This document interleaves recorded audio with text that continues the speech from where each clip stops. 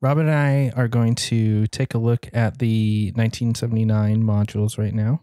Uh, so we've kind of put together a patch. Yeah, this was pretty fun. Yeah, I don't. Um, I haven't really worked on a multi. I mean, other than the Suzanne Ciani patch that we kind of did, that was we worked on that together. Um, but yeah, we kind of just put different parts together. Yeah, this was this was a little bit different than the previous two shows, um, but it was it was pretty cool. You know, going through each one and figuring out what what we wanted to get out of it.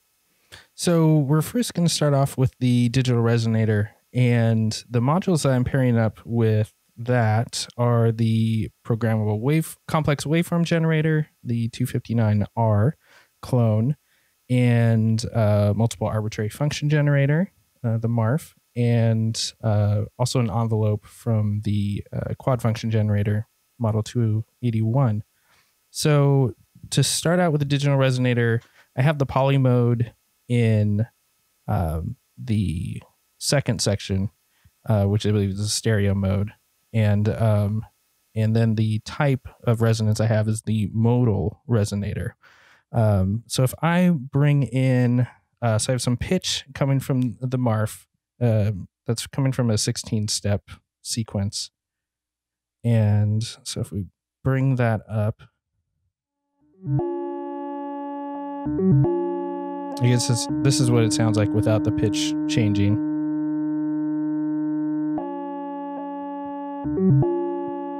So the pitch is going into uh, the complex or the principal oscillator side of the um, of the 259, and the pitch is also going into the pitch input of the digital resonator, um, and you'll hear that kind of that ping, which is coming from uh, from the uh, pitch input.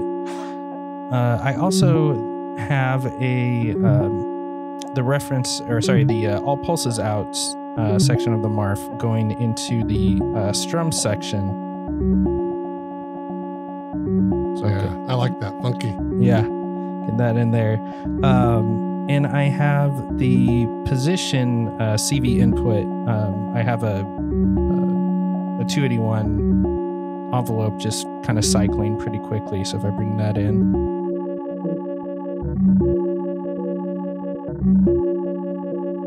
So yeah, that's kind of the what we have going on with the digital resonator. Uh, so if we bring, bring those down. That's Yeah. cool. Um, and then, so now we're going to transfer over to the uh, dual algorithmic oscillator uh, by 1979. And um, what's really cool about the uh, uh, the DAO is that it has built-in uh, VCAs and envelopes. So if you're working with a smaller system, um, kind of have a full voice within the oscillator by itself, as long as you have some triggers. So all it takes is a trigger input, and you can trigger that envelope into its internal VCA. Um, so we're kind of dumbing it down, but I don't know. I, I call it dumbing it down by just using that we're doing a kick um, for one of the oscillators and a snare for the other one.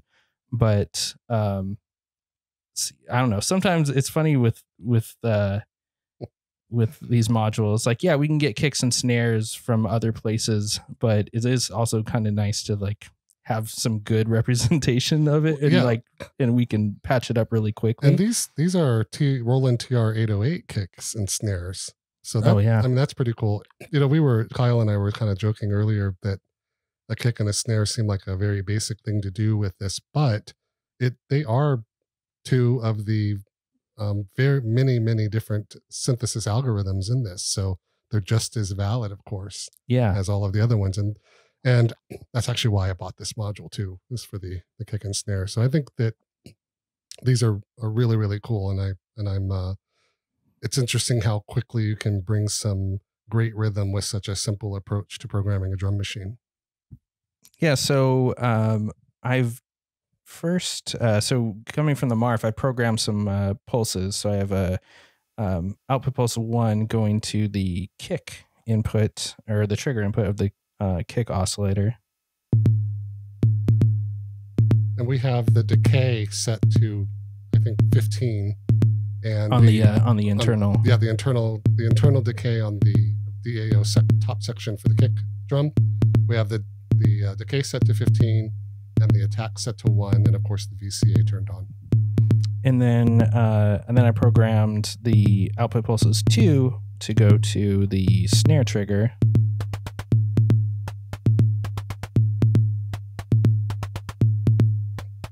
And to get that nice deep 808 kick, we have the timbre turned up to, I'd say, almost fully clockwise. It would be maybe in the four o'clock position, and color is fully clockwise. And for the snare, we have color fully clockwise and timbre at about the two o'clock position. Yeah. So Sounds good. yeah. So then if we Let's bring Uh, up those other two to hear those sounds together.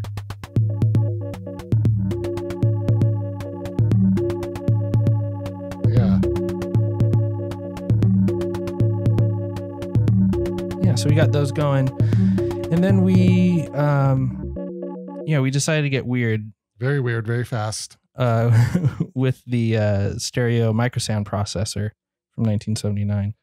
Yeah, well, let me tell you how we have this thing set up. So this is um this is a cool module. It's very big, so it made it easy to program as far as our fingers go.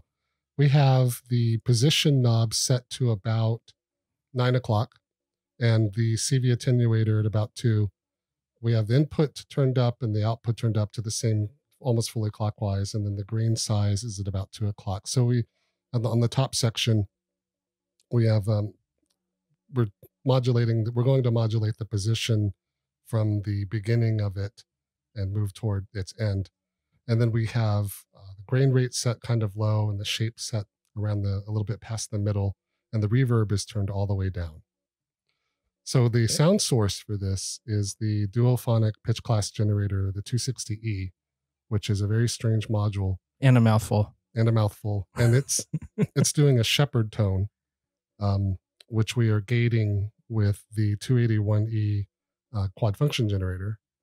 And we're taking the pulse outputs from that section of the 281e into the quantized random voltages c section c and d of the source of uncertainty the 266e and then we're sending those out to modulate pitch position and reverb in different ways And it's going through the um balance modulator as well. Yes, thanks. I, I've neglected to mention that. It's going into the balance modulator section in ring modulator mo- mode and the um, frequency is set to uh, one kilohertz using the internal reference source.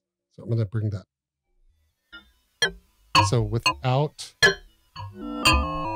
So that's what it sounds like. Sort of like a carnival of your horrible dreams, right? We're, we're excited for uh, the second uh, It movie to come out, right? yeah this uh something wicked this way comes kind of thing going on there so that yeah let me turn that up so what we're doing with that is uh we have we we want to get some kind of high pitched sound so it's in the 260es in the quantized uh, barbershop mode so as it moves through each of the pitch class is going to give a, a a quantized output instead of a continuous output so that's kind of important for this because as we gate it with the 281E, we want to just kind of grab those notes. And so that sounds kind of at a high level. Okay. Now let's hear it with some modulation turned on.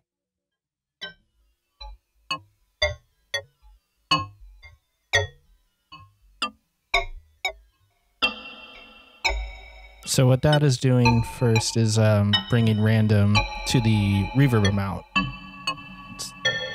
Yeah. And I, I neglected to mention an important thing, Kyle. Um, the 281E is being triggered by the uh, this two the 248 is going into the time the time and triggers 2TT, and then we're getting a divide by four clock output going into the 281. Yeah, so every time the the snare hits happen, um, those are being divided, and that's what's setting off this. Uh... So next, we'll bring up the modulation of position. So now the uh, 266E is modulating reverb and position.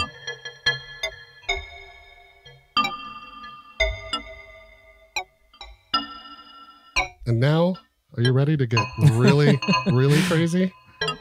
We're going to modulate pitch.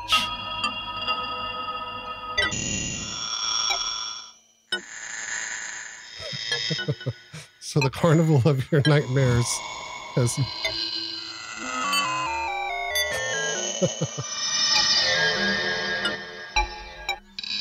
okay. So we've got all the different patches together. Are you ready to hear them all come together at the same time? Let's do it. Okay, so first we'll bring up the digital resonator. I really love that. And now let's bring in the DAO with the kick and the snare.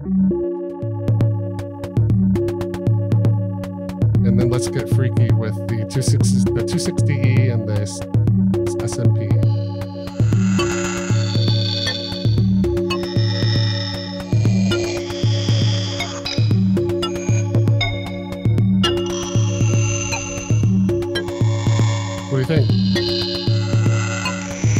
Sounds good. I like the uh, uh, the reverb coming in and out on on the SMP. You're Yeah. getting very dry and then wet. I'm gonna try turning up the grain rate a little bit.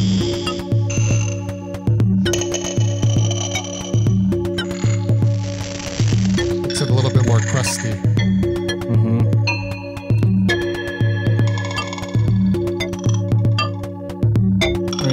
You mess with the shape,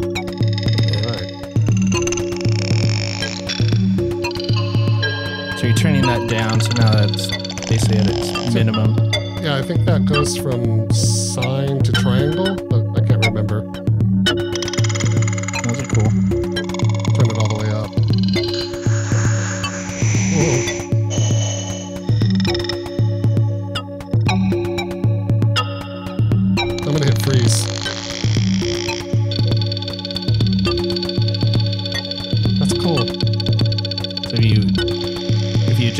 Size, what will that uh, or that? The grain size.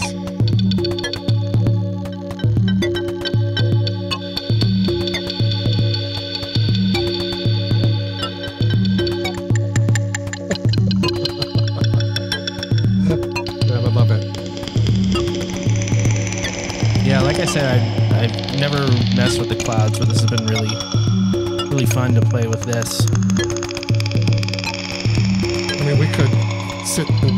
Lot of the different parameters of clouds of the SMP, like the time buffer for the incoming audio recording and the grain size. And with the craziness of the pitch modulation of a very simple tone from the 260E, you're getting this really wild jungle sounds, right? I mean, that's. It's like the almost sounds like the predator sometimes. we need to get to the chopper, right? it's frightening. That's great. So I'm going to turn down the S- SMP. And let's change a little parameter. We'll change the color on the kick. So it can kind of, it takes out a little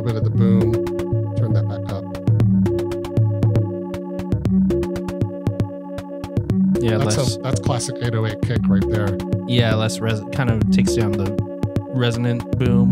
Yeah, that's it's like Afrika Bambaataa 808 right there. And then on the snare, if we turn the timbre up, turn it down. I think the color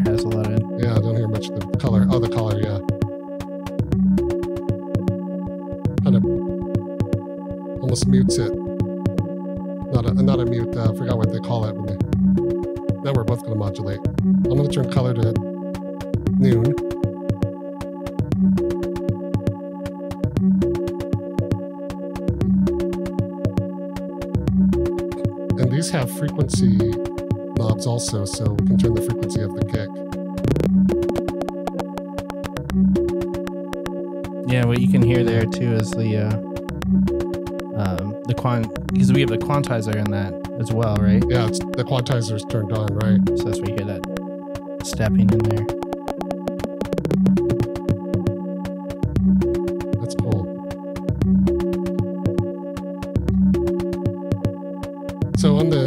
Digital resonator, Kyle, you're you're modulating position with the 248, but not modulating a lot of a lot of other things like um, frequency and brightness.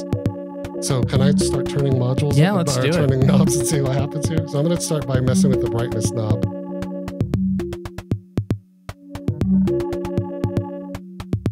So nearly takes Yeah. it out if we turn it down. Distorts kind of or it's squelchy. And then the damping knob, kind of you work that with.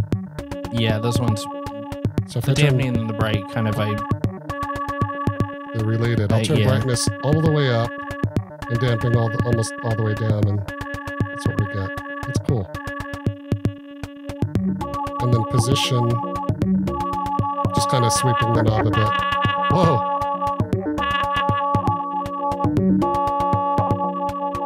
So that's I'm fighting your modulation. I realize Yeah. as I move the position there. So I'll play with structure now.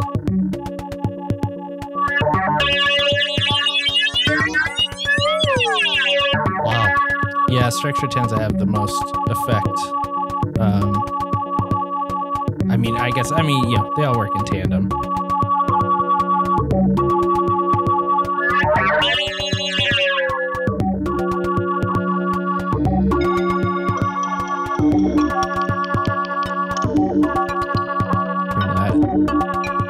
SMP back in. Yeah.